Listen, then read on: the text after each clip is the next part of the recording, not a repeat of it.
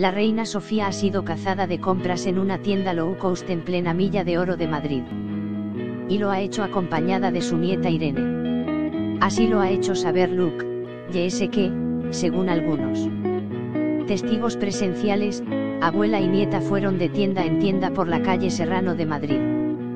Buscando prendas con precios asequibles.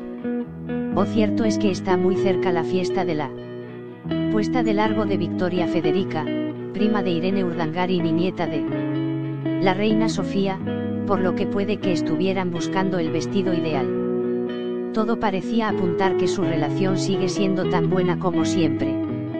A pesar de que desde que Iñaki Urdangarin entró a prisión las distancias quedaron marcadas entre la emérita, su hija Cristina y el resto de su familia. Desde siempre la niña ha estado muy unida a su abuela y hay muy buena sintonía entre ambas.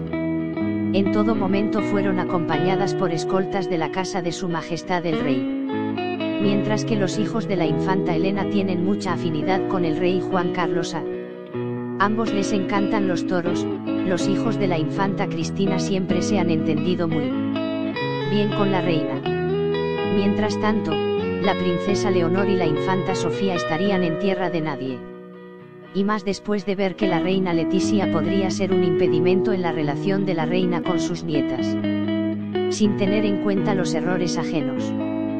Lejos de los errores de Iñaki Urdangarin, parece que la reina Sofía no quiere que sus nietos paguen por los errores de su padre y por eso en estos momentos tan complicados ha intentado estar unida a ellos. De momento parece que su nieta está por España, mientras que su nieto Pablo acaba de comenzar una nueva etapa en Alemania.